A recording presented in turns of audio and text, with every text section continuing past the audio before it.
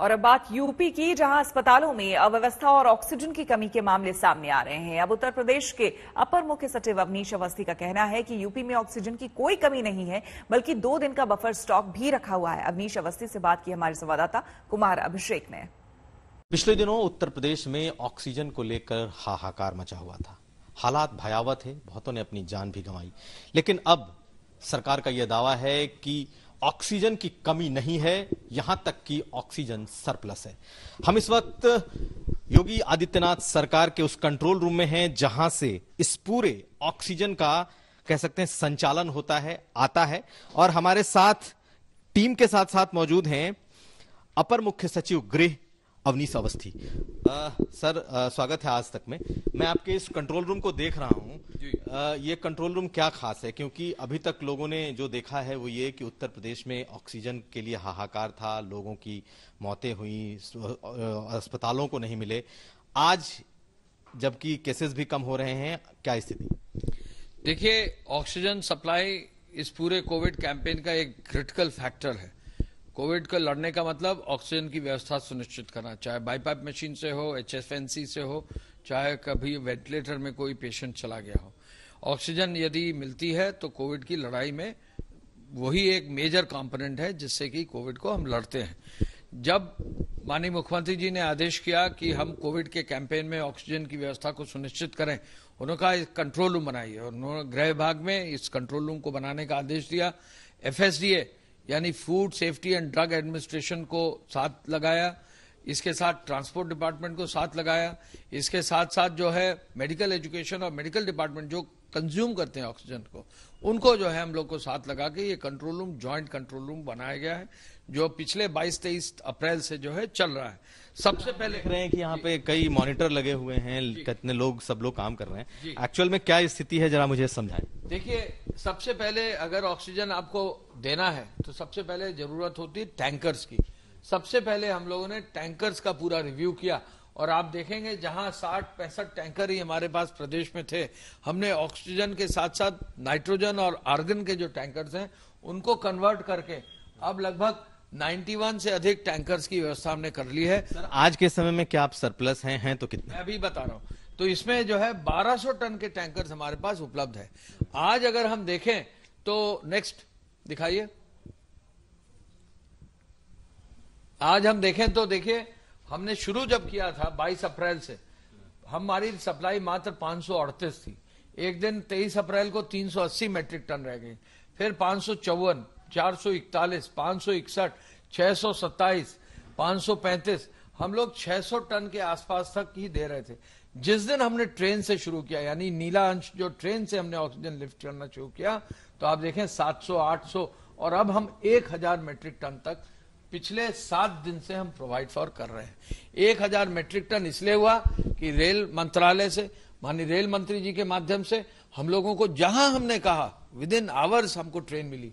हमने 18 बार जो है ऑक्सीजन की ट्रेन बोकारो से चलाकर जहाँ स्टील प्लांट है, वहाँ से हम लखनऊ लाए हम लोग ने जीवन रक्षक ट्रेन दी, जो भारत सरकार ने हमें टैंकर दिए। दस और आठ, अट्ठारह, दो ट्रेन बनाकर उनको जीवन रक्षक ट्रेन हम नाम दिया है। उनके माध्यम से भी जो हम जमशेदपुर से ऑक्सीजन लेकर आ रहे हैं।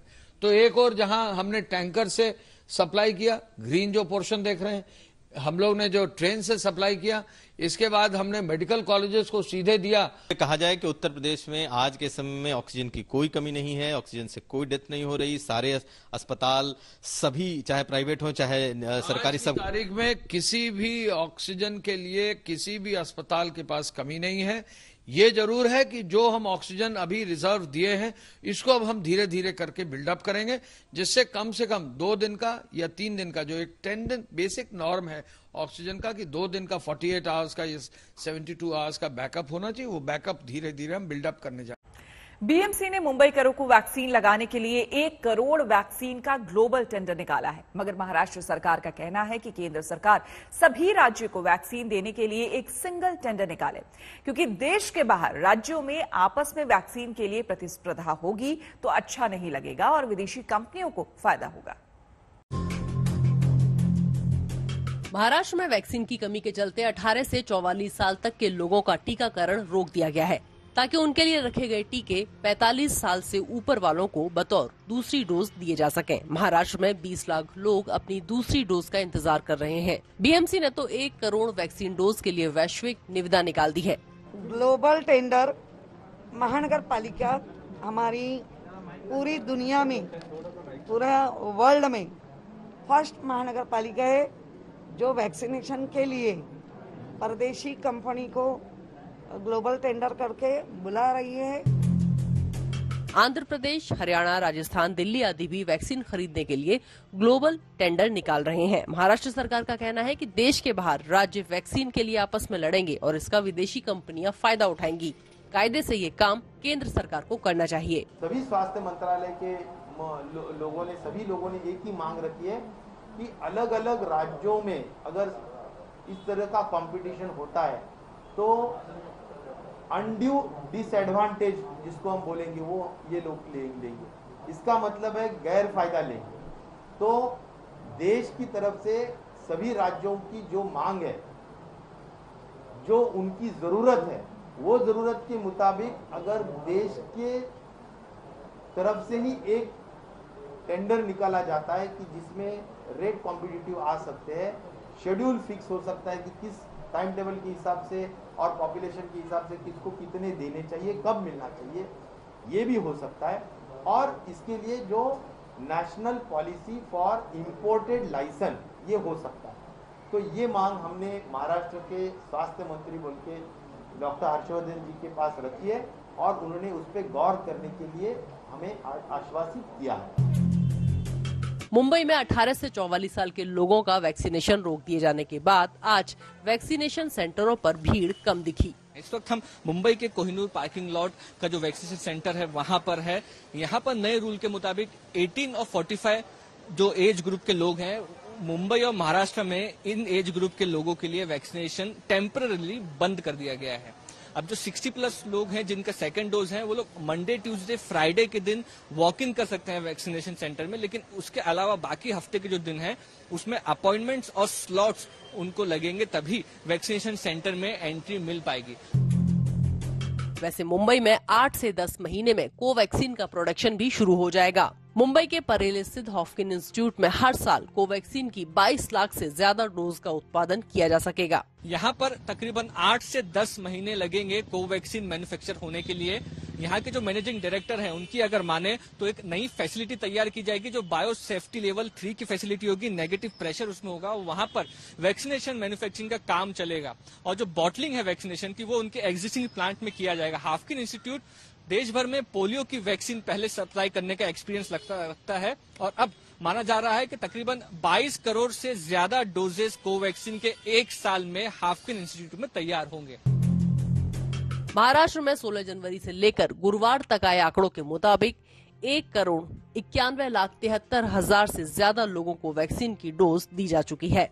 मुस्तफ़ा महाराष्ट्र में इस समय धार्मिक स्थल बंद पड़े हैं, मगर कुछ धार्मिक स्थल बंद होते हुए भी बहुत पुण्य का काम कर रहे हैं। महालक्ष्मी के स्वामीनारायण मंदिर और माहिम के सेंट माइकल चर्च ने अपने दरवाजे वैक्सीनेशन के लिए खोल दिए हैं।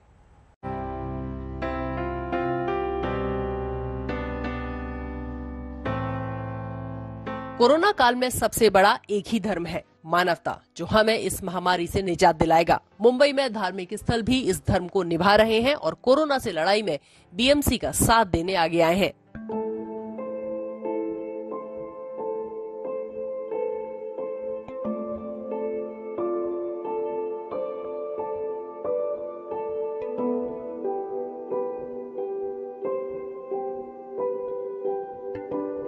माहिम के सेंट माइकल चर्च ने बीएमसी को अपने यहाँ वैक्सीनेशन के लिए जगह दे दी है। माहिम के ये साइड के लोग जो थे, चर्च और माहिम दरगाह के साइड के लोगों से मांगने आ रही थी कि यहाँ पे भी एक वैक्सीनेशन सेंटर होना चाहिए ताकि हमें यहाँ पे कंट्रोल हो, लेकिन हमें एक जगह नहीं मिल रही थी क्योंकि स्कूल्स में अलाउड नहीं है या फिर कोई अदर प्लेसेस पे अलाउड नहीं है। तो कुछ दिन पहले माहिम चर्च ने हमें अप्रोच किया और उन्होंने कहा कि हमारे पास ऐसी जगह है कि जो चर्च के डे टू डे एक्टिविटी या स्कूल का कोई भी डिस्टर्ब ना होते हुए ये जगह हम वैक्सीनेशन सेंटर के लिए दे सकते हैं।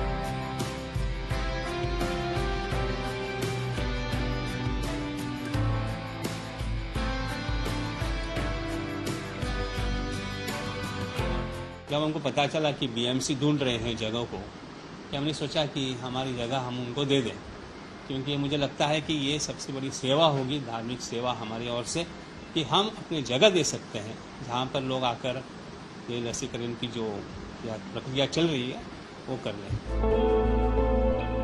महालक्ष्मी के स्वामी नारायण मंदिर के प्रांगण में भी लोगों को वैक्सीन लगाने का काम चल रहा है।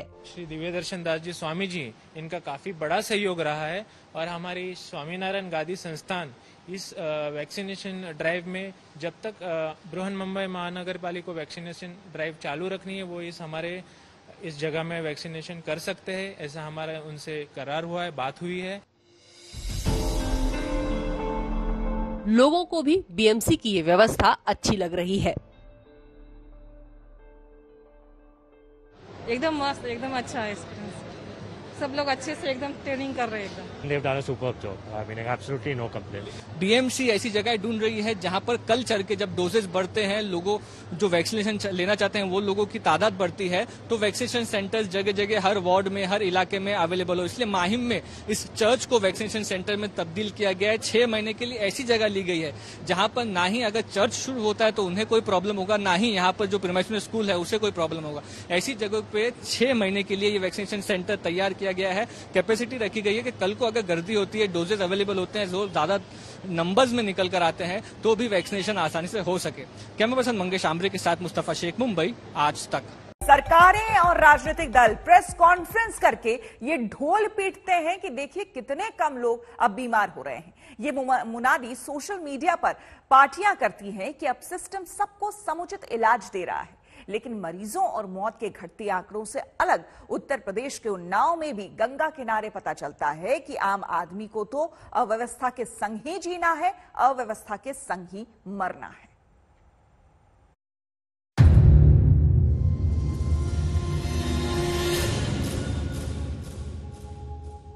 उन्नाव के बक्सर घाट में हम आपको वो दिखाते हैं जो देख करके आपका दिल दहल जाएगा।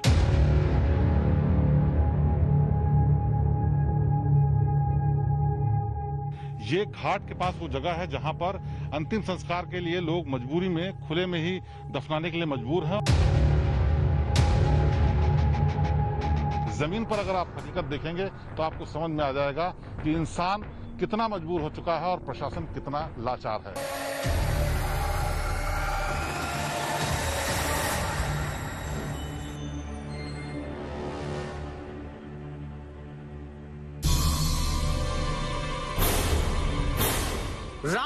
से ढका हुआ, गंगा के किनारे मिट्टी का उठा हुआ हिस्सा जो आप देख रहे हैं, कहने को तो मृत्यु निश्चित है और उसी सत्य को स्थापित करता शव दबा दिखता है।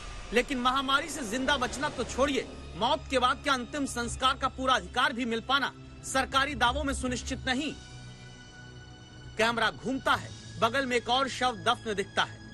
इसके बगल पीले रंग के कपड़े और मिट्टी के नीचे तीसरा शव है। सरकारी फाइलों में महामारी से निपटने की कैद गुलाबी तैयारियों के दम तोड़ चुके होने का सच यहाँ कैमरे में दिखता है, क्योंकि उन्नाव में बक्सर घाट के किनारे अव्यवस्था का कब्रिस्तान और चौड़ा होता नज़र आता है। गंगा किनारे जलाने की जगह दफन कर दिए गए शवों की संख्या बढ़ती दिखती है। जहाँ सरकारी घोषणाओं के नक्कार खाने में सच की आवाज़ तूती जैसी हो चुकी है, उस पर दस्तक देते हैं आज तक संवाददाता शिवेंद्र श्रीवास्तव।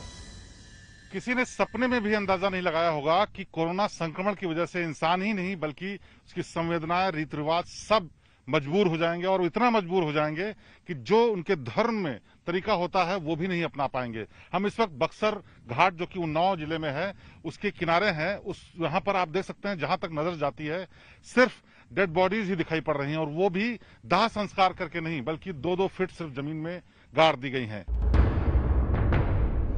अदालतें तक कह चुकी हैं कि संविधान के अनुच्छेद 21 के तहत गरिमा और उचित व्यवहार का अधिकार न केवल जीवित व्यक्ति के लिए मौजूद हो, बल्कि ये मृत्यु के बाद भी बना रहना चाहिए। मानव शरीर का निस्तारण, चाहे वो कोविड 19 से मरा हो या नहीं, चाहे दफ्न किया जाए या जलाया जाए, सम्मान और निष्ठा के साथ होना चाहिए। सवाल उठता है कि प्रशासन ने क्या किया? तो शिवेंद्र श्रीवास्तव, गंगा के बक्सर घाट पर उन्नाव में अपने दाहिने तरफ़ की कहानी स्थानीय लोगों के कहे अनुसार बताते हैं। हम इस इधर की तरफ़ दिखाना चाहेंगे, अपने नदी के बीच में जो इलाका है, वहाँ पर जो रेत का टीला दिख रहा है, वहाँ भी सैकड़ों डेड बॉडीज गाँव वालों के मुताबिक खुले में ऐसे ही दिखाई पड़ती थी। और उसके बाद जब जानवरों ने उनको नोचना शुरू किया तो प्रशासन ने उस पर सिर्फ़ जेसीबी से रेत डलवा दी। ये बहुत बड़ा सवाल प्रशासन पर भी है कि जहाँ एक तरफ़ सरकार लगातार दावा करती है कि उनके पास तमाम इंतज़ाम है, वहाँ अंतिम संस्कार के लिए लकड़ी और गड्ढे तक की व्यवस्था नहीं कर पाए। और इसी का नतीजा है कि ये शिकायतें सामने आने के बाद भी यहाँ पर अभी भी तमाम सैकड़ों बॉडीज ऐसे ही अधखुली पड़ी हुई हैं। घूमते हुए कैमरे में कैद तस्वीरों के साथ उस सच को स्वीकार करना क्या ज़रूरी है? जो कहता है कि हाँ लापरवाही दिखती है, ज़िंदगी बचाने से लेकर मौत के बाद, सम्मान से अंतिम क्रिया तक में।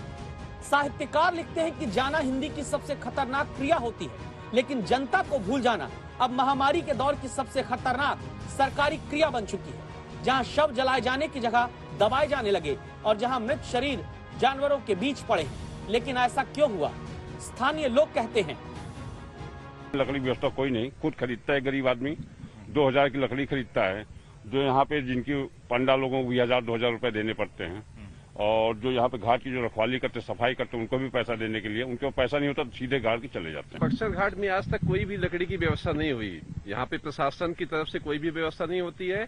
आदमी खुद लाता है डेड बॉडी, यहाँ से देखे 20-25 किलोमीटर दूर से लेकर के आता है। गाँव से लकड़ी खरीदता है, तीन हज़ार की मिलती है। एक भी रुपए की आज तक प्रशासन ने कोई मदद यहाँ पे शमशान घाट के लिए नहीं दिया है। आप यहाँ से पीछे तक देखते रहेंगे कम से कम एक हज़ार दो हज़ार बॉडीज गड़ी होंगी। गंगा के किनारे इस घाट पर रायबरेली उन्नाव और कानपुर से लोग अपनों का अंतिम संस्कार करने आते हैं। लेकिन क्या सिर्फ़ अंतिम संस्कार की लकड़ी की महँगाई के कारण यूँ अपनों के शवों को लोग जलाने की जगह दफना कर चले गए? उन्नाव के डीएम तक हम सवाल करने पहुँचे। एसडीएम और सीओ को भेजा है। और उन्होंने बताया है कि जो गंगा घाट के, गंगा जी के इधर का इलाका है, वहाँ पर कोई भी खुली बॉडी नहीं है। एक बीच में टीला है, वहाँ पर भी हम लोग जाँच करा रहे हैं। और अभी तक की रिपोर्ट के अनुसार वो चूँकि सीमा में पड़ता है तो उसकी भी हम लोग दिखा रहे हैं, लेकिन जो भी इसमें उचित कार्रवाई होगी, हम लोग शीघ्र इसमें कराएँगे और जो भी सम्मानजनक कार्रवाई होगी, वो कराया जाएगा। कितनी सम्मानजनक कार्रवाई हुई, जरा देखिएगा। शरीर नष्ट होता है, आत्मा अजर अमर रहती है का पाठ पढ़ने वाले बहुसंख्यक नागरिकों को शरीर के जीवन के अंत पर यूँ कुत्तों के बीच छोड़ दिया जाएगा। देख सुनकर हर जीवित व्यक्ति की संवेदनाएँ काँप जाती है और प्रशासन ने क्या किया? ये जो कुत्ते हैं, ये नदी तैर करके गए हैं उन जगहों पर, जहाँ लाशों को दबाया गया है। और अब, चूँकि प्रशासन की, को इस बात के लिए सवाल उठे हैं तो अब वहाँ पर एक नाव लगाई गई है और नाव से बाकायदा जा करके वो इंसान भगाने की कोशिश कर रहा है, जिससे लाशों को खोदा न जा सके। लेकिन ये रोज का नज़ारा है, जब हर दिन इसी तरीके से लाशों को खोद कर कुत्ते और जानवर दूसरे खाते थे, और इसके बाद गाँव वालों ने शिकायत शुरू की। आप देख सकते हैं, इसकी बाकायदा ड्यूटी लगाई गई है नाव के साथ, कि यहाँ पर आने वाले जानवरों को अब भगाया जाए यहाँ पर, जिससे वो लाशों को खोद न सके। जीते जी शायद संभव है कि जिन्हें पूरा इलाज भी नहीं मिला। उनकी मृत्यु के बाद धार्मिक कर्मकांड के विपरीत, यानी जलाने की जगह दफ्न किए गए शरीरों को जानवरों से बचाने के लिए एक आदमी डंडा देकर प्रशासन ने रख दिया। मानो काम पूरा हो गया। प्रशासन का दावा यह है कि सब कुछ दुरुस्त है। सरकार की तरफ़ से अंतिम संस्कार के लिए पैसे दिए जाते हैं और उसका खर्चा भी सरकार ही सहती है। लेकिन ज़मीन पर अगर आप हकीकत देखेंगे तो आपको समझ में आ जाएगा कि इंसान कितना मजबूर हो चुका है और प्रशासन कितना लाचार है। दावा है कि अब मीडिया में खबरें आने के बाद प्रशासन लकड़ी का इंतज़ाम कराने लगा है और स्थानीय परंपराओं के आधार पर कुछ लोगों की तरफ़ से शव जलाने की जगह दफनाने की दलील भी दी जाती है। अगर ये शव कोरोना पीड़ितों के हैं तो चिंता बहुत बढ़ जाती है। जाँच ज़रूरी है कि कुछ लोग वाकई स्थानीय परंपराओं के तहत अपनों की मृत्यु के बाद उन्हें दफना कर गए, या फिर अव्यवस्था की बालू में जनता का अंतिम अधिकार भी दबा दिया गया। विशाल चौहान के साथ शिवेंद्र श्रीवास्तव, उन्नाव, आज तक। उन्नाव में तो प्रशासन और लखनऊ तक अधिकारियों की दलील इस बात पर ज़ोर देती है कि स्थानीय परंपराओं के तहत कुछ लोग शवों को जलाने की जगह घाट के किनारे दफना दे रहे हैं। लेकिन क्या वाकई हर जगह यही दलीलें काम करती हैं? क्योंकि यूपी के गाजीपुर से लेकर बिहार के बक्सर तक इसी हफ़्ते शवों के नदी में बहती हुई तस्वीरें सामने आ चुकी है। तो आखिर ऐसा क्यों है कि लोग मृत्यु के बाद प्रमुख रूप से जलाकर अंतिम संस्कार करने की जगह उन्हें दफना रहे हैं या नदी में बहा दे रहे हैं? इसकी वजह हमने तलाशनी शुरू की।